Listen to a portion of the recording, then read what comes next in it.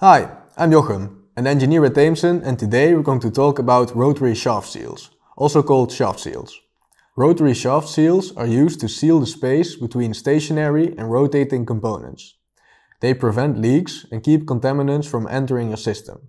There are different types of shaft seals for a wide range of applications. With this video, I want to help you make the right choice. Unlike an O-ring, a shaft seal consists of two parts. Inside the seal is a metal ring that provides stability and strength. Depending on the application, the exterior can be made from metal or rubber. The area in contact with the shaft is kept as small as possible by means of a V-shape to minimize friction and heat generation. This V-shape is clamped to the shaft by means of a coil spring. Optionally, a dust lip can be used to protect the sealing edge from external dirt or dust. This has the added benefit of extending the life of the shaft seal. The shaft seals are made according to DIN 3760. This makes it possible to interchange shaft seals between brands. A shaft seal is typically identified by one or two letters. The first letter identifies the type of shaft seal and construction. There are types A, B or C. If there are additional variations to the standard shaft seal, there is another letter.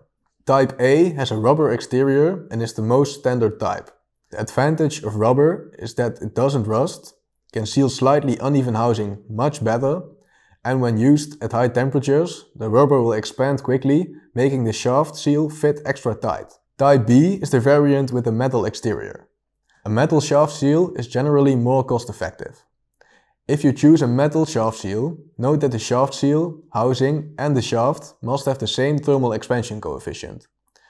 Too great of a difference in expansion coefficient can cause the system to leak with temperature changes. Type C is similar to Type B, but has an additional reinforcing cap. This type is often used for large diameter applications and heavy-duty operating conditions. As previously mentioned, there are a number of variations on the three basic types. If the retaining ring contains a dust lip, an S is added after the letter of the basic type. When there is an O at the end, it means that this type doesn't contain a coil spring.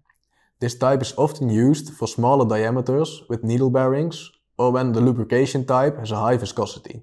Types with a D after the basic type contain two shaft sealing edges. This makes it possible to separate two fluids.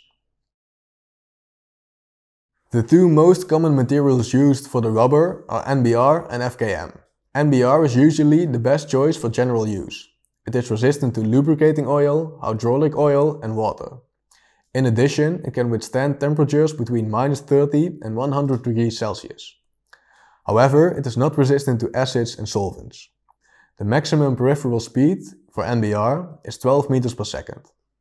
FKM is the best choice for high temperature applications. It can withstand temperatures between minus 20 and 200 degrees Celsius. FKM is also a lot more resistant to acids and solvents and can handle a peripheral speed up to 38 meters per second. If you enjoyed this video, please click the like button and subscribe for more videos. If you have any further questions about shaft seals, such as what roughness your shaft should have, please read the technical article on our website or contact me or anyone else from Tameson.